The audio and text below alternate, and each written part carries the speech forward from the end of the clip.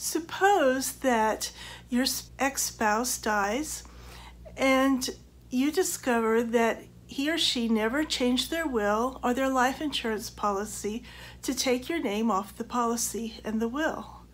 So you're divorced, but your name is on the will as a beneficiary. Do you still get to collect?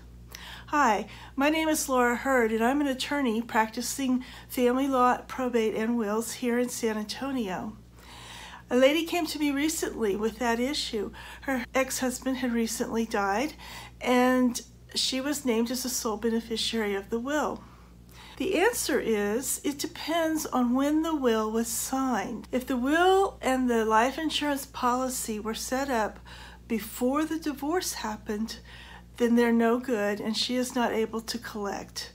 Those provisions leaving her money or property are by law declared to be invalid because of the divorce. But if after the divorce, he made a new will and he still named her as beneficiary. Or after the divorce, he contacted the life insurance company and still named her as beneficiary.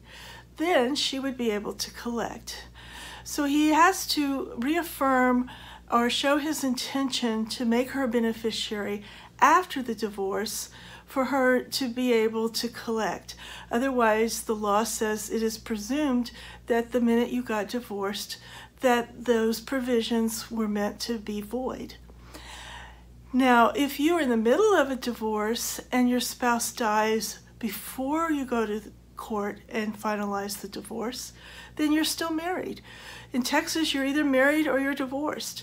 If you haven't been declared divorced, even though a divorce proceeding was pending, you're still married and you're still able to collect on the will and the life insurance policy. So it's all in the timing.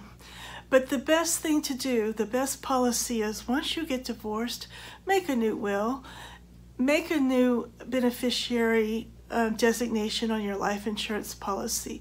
Clear up those things so that there is no question what you intend. I hope this is helpful.